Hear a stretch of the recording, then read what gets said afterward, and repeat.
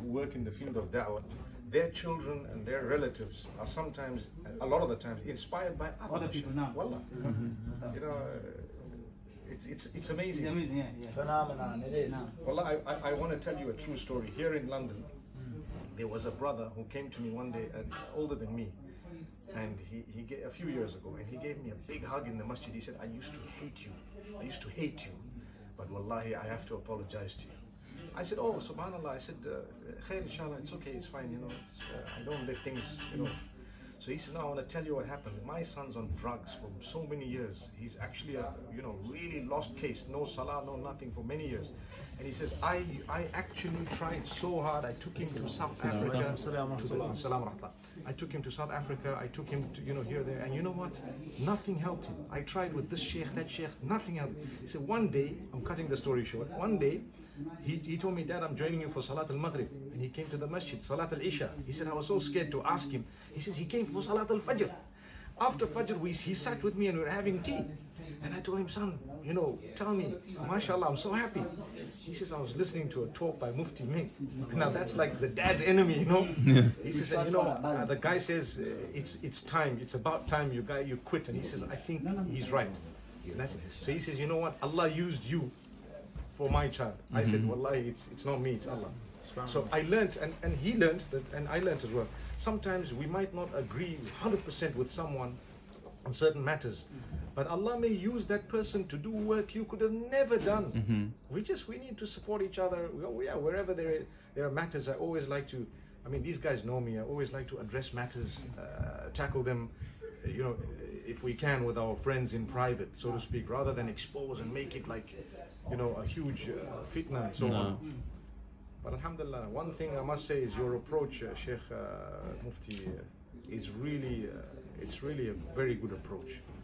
I think there's legitimacy. There is, uh, there is, you know, it's evidence based, and at the same time, it's, it's very balanced. So, mashallah, mabruk. May Allah, Thank you, Sheikh. may Allah grant you lots of growth and, and still. And as time passes, you know, we, we, we tend to expand in our in our way.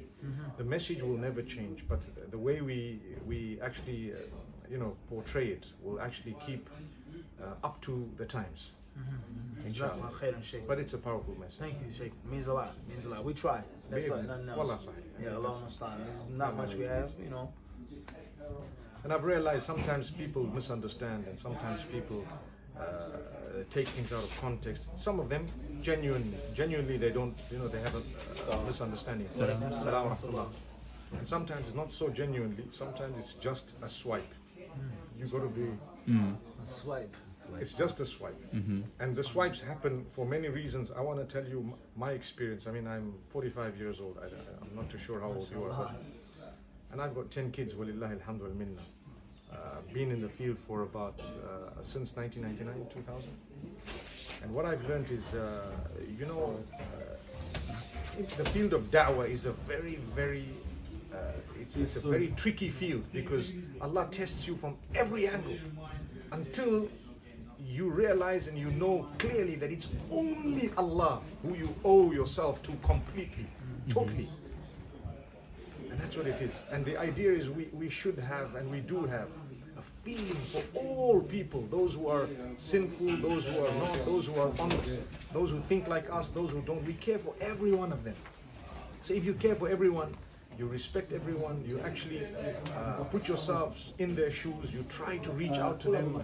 I always tell people, I'm so excited when I'm given the opportunity to preach to people who are totally out, you know. And when I'm preaching to the preached, I don't get that kick. You know, Yeah. that's why they say, oh, you went into this masjid, that. I said, look, guy, I'll go to any masjid because the idea is to talk to the guys. Yeah. You know, I'm not, it's, and then people use the term al-wala wal-bara to try and tell you you're not allowed to go here. I said, listen, this is da'wah. Da'wah is totally different from al-wala wal-bara. I'm going in to do something. I'm not going into little, you know. So Sit Allah and drink it easy. tea and fraternize. I'm going for a message. Sahih, in order to get the message across, and it's it's very clear. But Allah make it easy. I found, uh, and I'm not saying it because it's you uh, in front of me. Uh, this was even before I even, uh, before I knew I would meet you. I felt within myself that uh, this is a brother who actually uh, is a breath of fresh air. Simply because of the way, the way, things are put forward. May Allah make it easy. May Allah make it easy.